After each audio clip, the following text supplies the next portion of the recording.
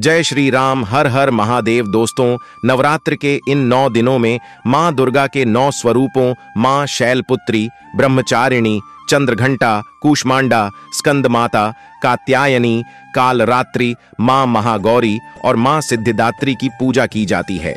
इन नौ दिनों में हर दिन माँ की पूजा के लिए, हर एक दिन के लिए अलग अलग फूलों का महत्व बताया गया है। तो आइए जानते हैं नवरात्रि में किस दिन कौन सा फूल माँ को प्रिय है, जिसको चढ़ाने से व्यक्ति की सभी मनोकामना पूर्ण हो जाती है। दोस्तों, इससे पहले एक बार अपने मन में जय माता जी बोल दें और कमेंट बॉक्स में लिख दें और चैनल को सब्सक्राइब कर दें।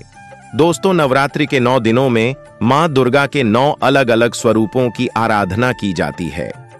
मान्यता है कि माँ दुर्गा की विधि पूर्वक पूजा करने से जीवन में सुख समृद्धि आती है और मनोकामना पूरी होती है। नवरात्रि में देवी माँ के चरणों में नवरात्रि के हर दिन अलग अलग प्रकार के फूलों को छरहाने की भी परंपरा है। अगर आप उन फूलों को देवी माँ को अर्पित करेंगे, जो उनको बहुत प्रिय है तो माता आपकी मनोकामना पूरी करेंगी। दोस्तों नवरात्रि के पहले दिन माँ दुर्गा के शैलपुत्री स्वरूप की आराधना की जाती है। माँ शैलपुत्री को गुड़हल का लाल फूल और सफ़ेद कनेर का फूल बहुत पसंद है। दोस्तों, नवरात्रि के दूसरे दिन माँ दुर्गा के ब्रह्मचारिणी स्वरूप की पूजा की जाती है। माँ ब्रह्मचारिणी को गुलदाउदी का फूल और वटवृक्ष के फूल काफ़ी पसंद हैं। दोस्तों, नवरात्रि के तीसरे दिन माँ के चंद्रघंटा स्वरूप को पूजा जाता है। इस दिन आप माँ चंद्रघंटा को कमल का फूल और शंख पुष्पी का फूल अर्पित कर सकते हैं।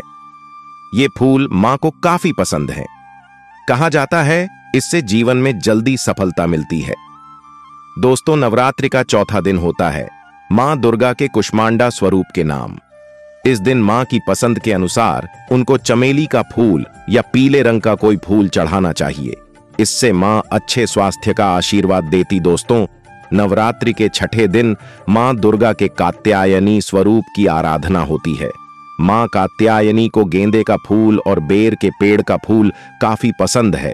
इसलिए इस दिन यह फूल चढ़ाना चाहिए। इससे घर में धन का आगमन होगा और नकारात्मक शक्तियाँ कभी घर में नहीं आएगी। दोस्तों, माँ दुर्गा के कालरात्रि स्वरूप की पूजा अर्चना नवरात्रि के सातवें दिन की जाती है। माँ काल रात्रि को नीले रंग का, कृष्ण कमल का फूल बहुत अधिक प्रिय है। ये फूल न मिलने की स्थिति में कोई भी नीला फूल चढ़ा सकते हैं। इससे घर परिवार में प्रेम का वातावरण बना रहता है। दोस्तों, नवरात्रि के आठवें दिन महागौरी की पूजा की जाती है। दुर्गा के महागौरी स्वरूप को मोगरे का फूल विशेष रूप से पसंद है। माँ के चरणों में इस फूल को अर्पित करें।